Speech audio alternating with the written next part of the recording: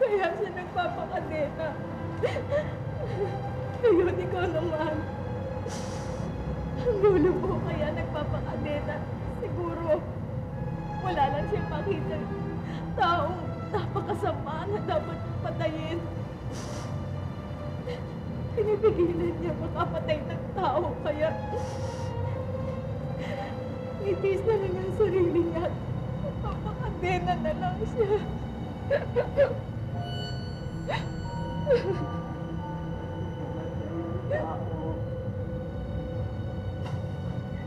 ko kayang pumatay.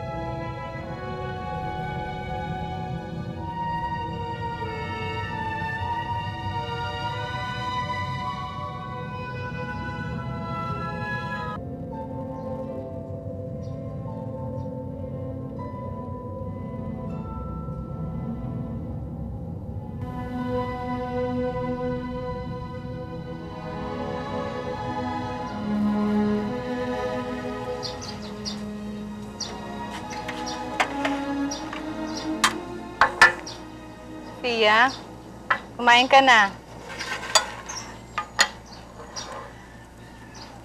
Salamat sa Diyos at nandito kayo ni Istong Aling Elba. Ganun laging gagawin niyo sa akin sa tuwing magbibilog ang buwan. Ikadena niyo ako para hindi ako makapaminsala. Ayokong pumatay ng tao. Bakit?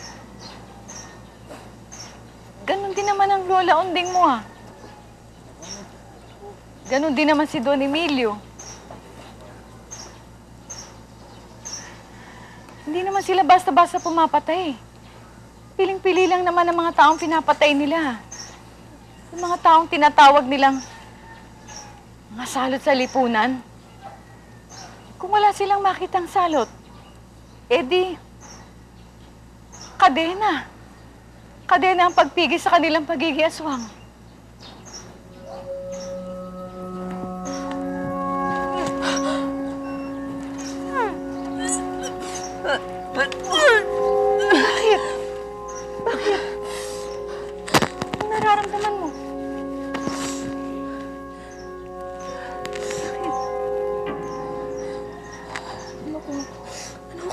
sa akin, Aling Elba? Bakit? Duwal ako ng duwal pero wala naman ako maisuka. Ako?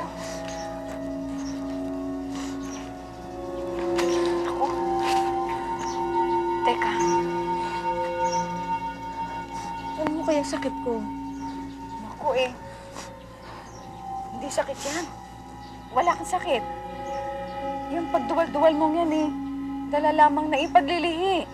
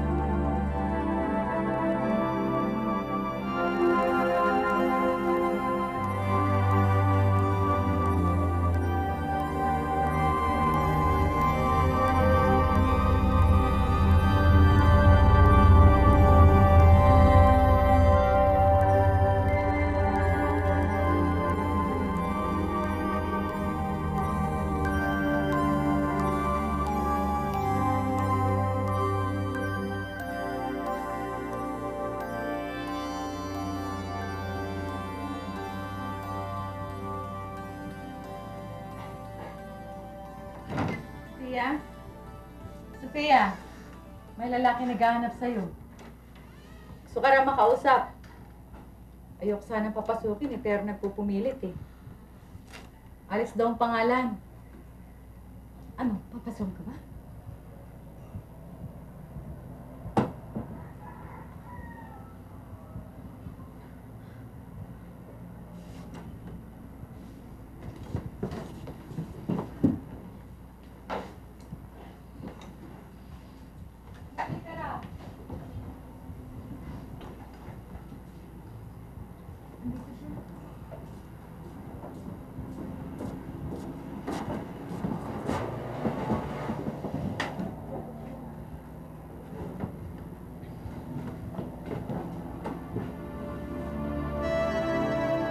Gusto ka na?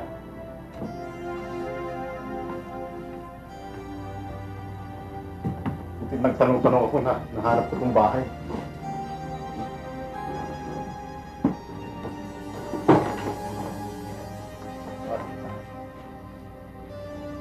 Saan ka magpunta, hahanapin kita.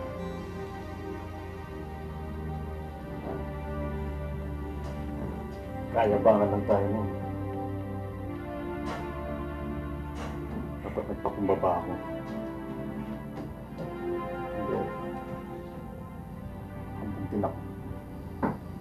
Patapila. Tabida. Imbis na tanggapin na tama ka. Dapat nga mayayaman ang kabutin ko. Para magkakwarta. Sustentuhan ka. Yun dapat na ginawa mo.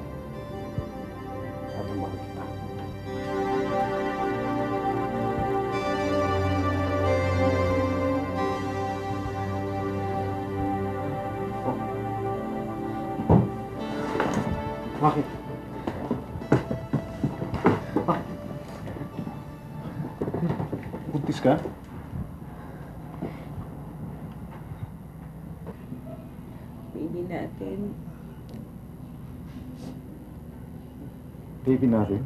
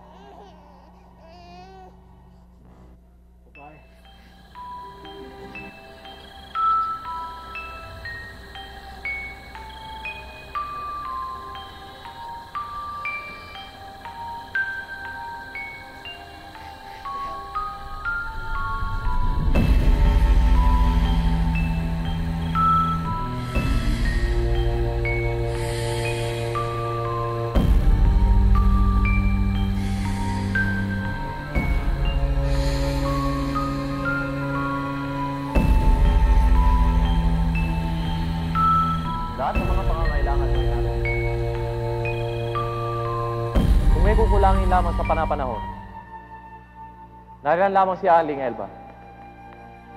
Pagutusan mo. Ngunit hindi ka makakaalis sa bakuran.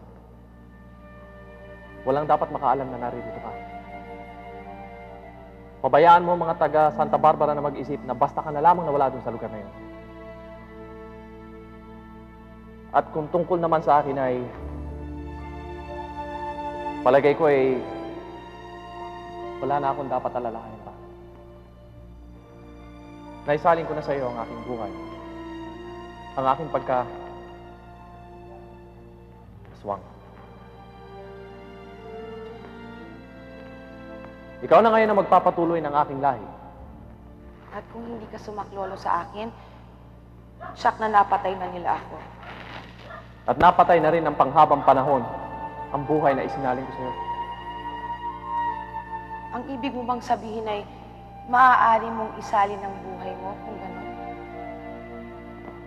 Iisa lamang ang buhay ng aswang. Nagpapasalin-salin lang. Ang buhay aswang na isinalin ng sa isa hindi pa pwedeng isalin pa sa iba. Ibinigay ko na sa iyo ang buhay ko. At ikaw na lamang tanging makakapagsalin nito sa iba. Kaya lahat ng mga naipundar ko dito sa Pilipinas ay nakalaan na para sa iyo. At ito lamang ay mamanahin ng kung sino man ang masasalingan mo ng buhay aswang. Ang aking lahi.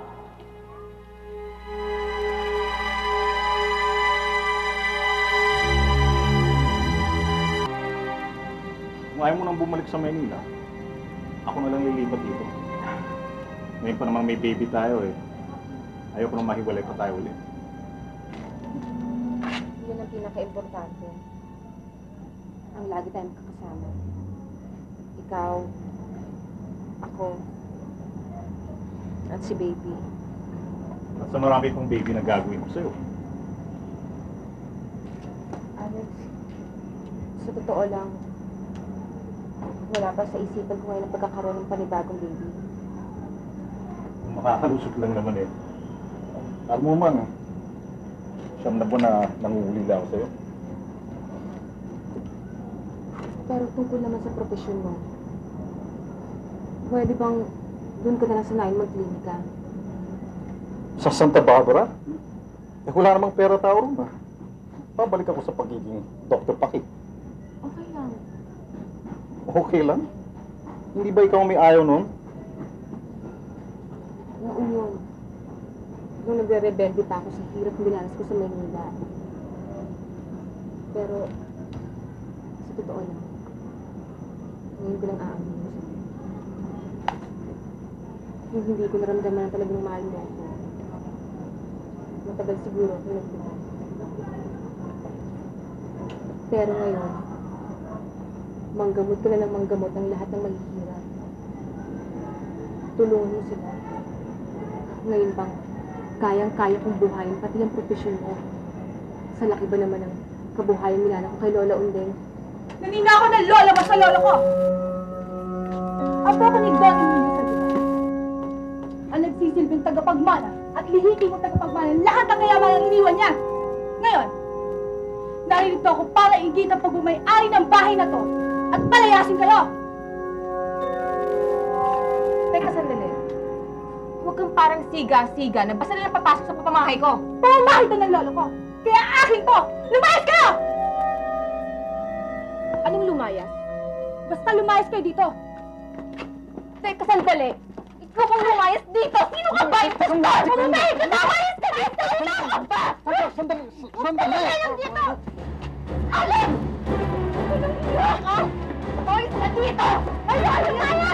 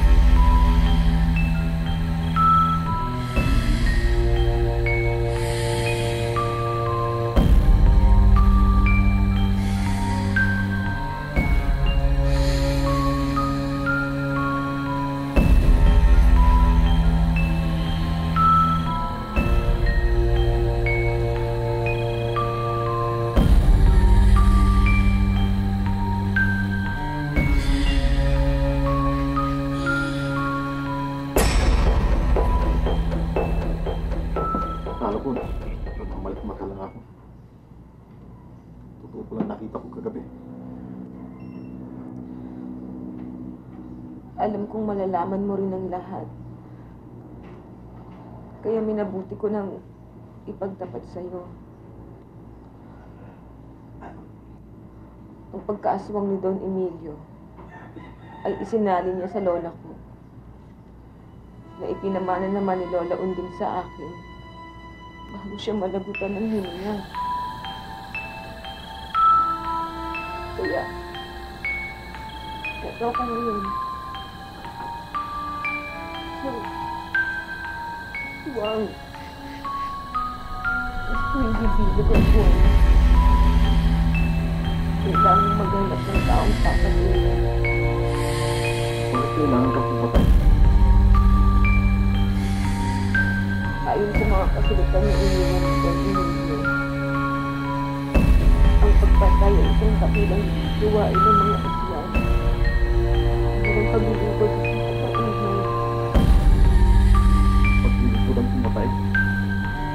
para burahin lahat ng mga samang tao sa mundo.